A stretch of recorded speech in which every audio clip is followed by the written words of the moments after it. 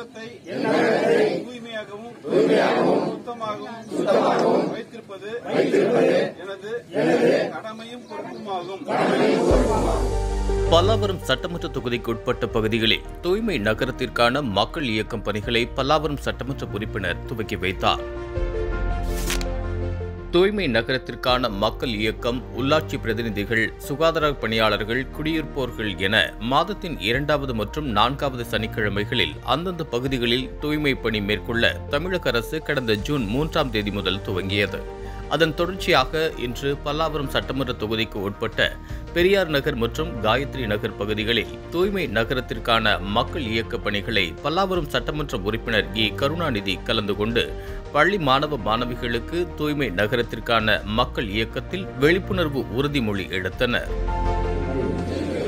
என் நகரத்தை தூய்மையாகவும் சுத்தமாகவும் குப்பை கொட்ட அனுமதிக்க மாட்டேன்.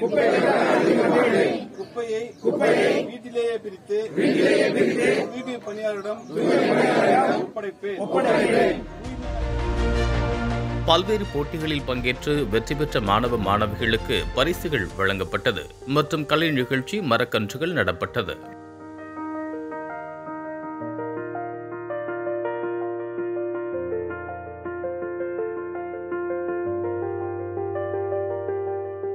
நிகழ்ச்சியில் தாம்பரம் மாநகராட்சி மேயர் வசந்தகுமாரி துணை மேயர் காமராஜ் மாநகராட்சி ஆணையர் இளங்கோவன் பொறியாளர் முருகேசன் மூன்றாவது மண்டல குழு தலைவர் பிரதீப் சந்திரன் மாமன்ற உறுப்பினர்கள் ஆர் எஸ் செந்தில்குமார் மகாலட்சுமி கருணாகரன் ஆகியோர் கலந்து கொண்டனர்.